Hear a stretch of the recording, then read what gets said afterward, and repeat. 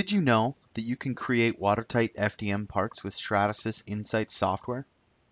I'm Drew Davis, a manufacturing application engineer at GoEngineer, and I'm going to show you how. Simply by changing some settings, you can modify the way that the tool paths are deposited layer by layer, closing off some of the inherent porosity of FDM parts. First thing you need is a part. Here's one. I designed it in SOLIDWORKS from a silhouette picture off the internet. Now my part doesn't have very thick walls, but if it did, I would want to change my part interior style to solid fill, like this. To begin, I'm going to click on Toolpaths in the main menu and click on Setup in the drop-down. At the bottom of the current operation window, click on Advanced Settings to pop up the Advanced Settings window. Within this window, I'm interested in two checkboxes.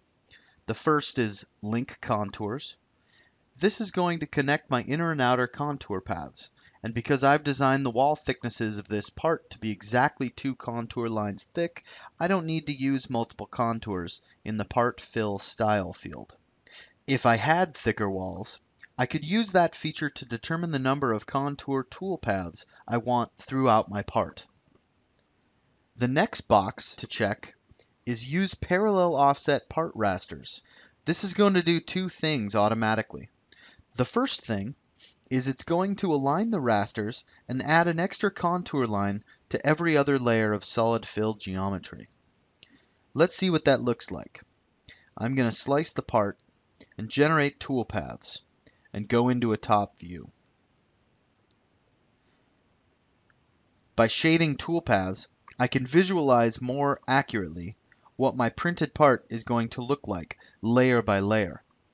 And as I go up layer by layer, you can see that the rasters are lined up but shift in position to fill the gap between the rasters on the layer below. Also, there's an extra contour line added so the air gaps created by the end of the raster turning around are filled in. Scrolling farther up the part, I can see that the walls are, in fact, two toolpaths wide, and in this corner they are connected. This connection means that for each layer, water has to go all the way around the perimeter of the part to leak out.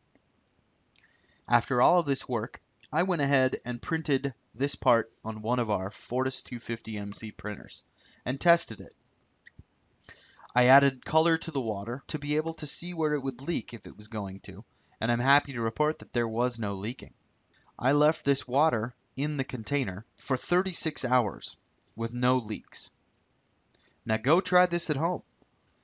Thank you for watching, and as always, for more fun stuff, head on over to goengineer.com.